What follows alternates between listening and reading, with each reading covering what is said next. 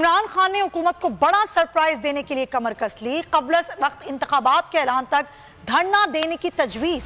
Party रहनुमाओं की तजावीज़ पर आज मजीद मुशावरत होगी।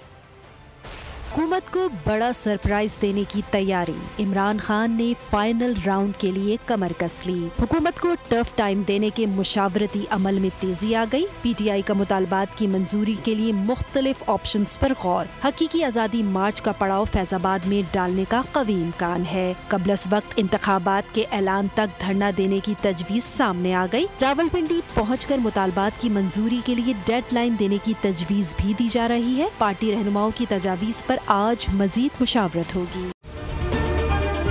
अगर आपको ये वीडियो पसंद आई है तो हमारे चैनल को सब्सक्राइब करें और बेल आइकन पर क्लिक करें।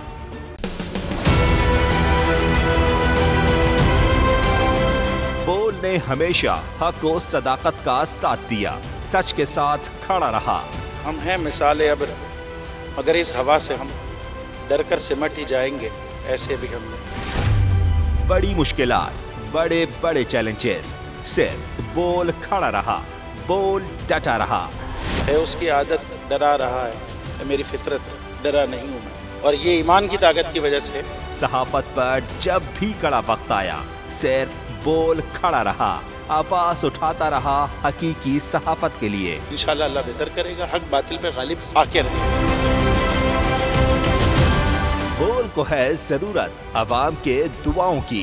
मार्च होगा बार। आई लव बोल बोल को वेलकम आज़ादी मार्च के लिए बोल को मैं दाद देना चाहता हूँ। बहुत अच्छी कवरेज की है। ये मार्च की तो ज़बरदस्त कवरेज की बोल की प्रॉब्लम सबसे बेस्ट इजहार आसाती के लिए पाकिस्तान के लिए पाकिस्तानी आवाम के लिए।